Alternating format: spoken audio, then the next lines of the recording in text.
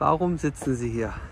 Ja, weil es heute ein schöner Tag ist und die Sonne scheint und man nutzt die Gelegenheit noch, weil es ja jetzt Richtung Herbst geht und ja, die Sonnenscheindauer wird immer knapper.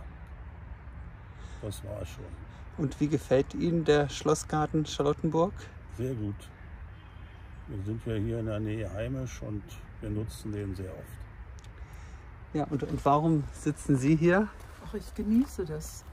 Der Blick einfach hier ins Grüne und die Natur, alles noch ein bisschen einfangen. Und Sonne ist doch irgendwie wichtig fürs Wohlbefinden. Ach, 100 pro, 100 pro, ja.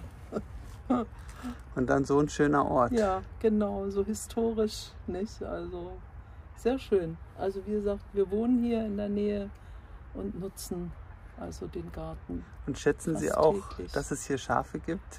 Ja, ja, das finde ich ganz toll vor allen Dingen. Weil erstens mal ist der natürliche Rasenmäher.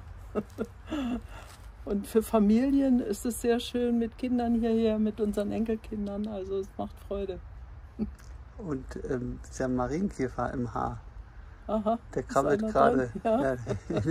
Ja, ja, ist hier eine richtige Invasion. Die kommen von hier irgendwie aus dem Gras, schätze ich mal. Wenn man die Augen so ein bisschen schließt, dann sieht man, wie sie hier angeflogen kommen. Kitzelt ein bisschen. Ja, ja.